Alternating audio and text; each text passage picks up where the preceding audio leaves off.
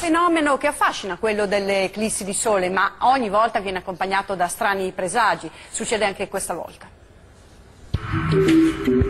Sei minuti senza luce. Il sole verrà oscurato dalla luna per l'eclissi totale più lunga di questo secolo. E quello che avverrà tra poche ore, un fenomeno visibile in Asia e che avrà il suo culmine in Cina. Da settimane su internet è partito il tam tam. Insieme a questa eclissi straordinaria potrebbero verificarsi altri eventi come terremoti e tsunami.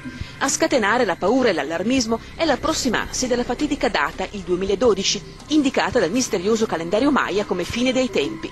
Ma non solo, ci sono anche strani avvistamenti nei cieli, come questo, ripreso lo scorso maggio a Padova, un piccolo secondo sole. E tra qualche mese, dicono i siti non ufficiali di astronomia, diventerà visibile ad occhio nudo.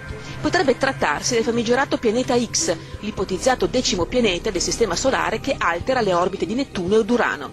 Quello che gli antichi sumeri chiamavano Nibiru sarebbe in realtà una nana nera, cioè una stella che si è spenta, con un suo seguito di pianeti, forse 6 o 7. La sua ellittica molto allungata la porterebbe ad avvicinarsi al nostro Sole ogni 3600 anni, provocando sconvolgimenti cosmici. E adesso sarebbe per tornare.